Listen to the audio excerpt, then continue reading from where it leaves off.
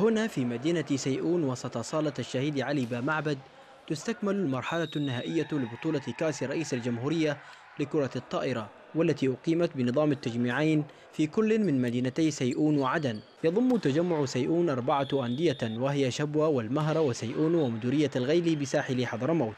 اليوم نتواجد في سيئون لاستكمال المرحلة الثانية من تجمع سيئون الذي يضم نادي خيبة المهرة وسيئون وشباب المسانعة وشباب القارم المكلا.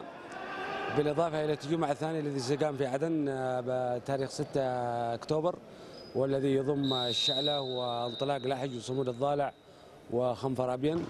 وهذا تأتي تتويجا للموسم الرياضي الذي ينفذه الاتحاد العام اليمني لكرة الطائرة. خلال المباريات التي أجريت على مدى ثلاثة أيام حقق نادي خيبل بالمهرة فوزا كاسحا بحصوله على المركز الأول على نادي سيئون.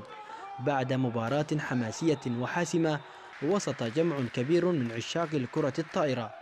وبهذا يكون نادي المهرة قد تأهل للنهائيات. إحنا تأهلنا في تجمع سيئون وحصلنا على المركز الأول وإن شاء الله سوف نغادر إلى إلى محافظة عدن لنقابل البطل الذي تجمع حق عدن وإن شاء الله يكون الكاس من حليفنا ونحن جادين وإن شاء الله نحقق هذا الكاس ونهديه لجميع المنجمين والجمهور محافظة المهرة بشكل عام.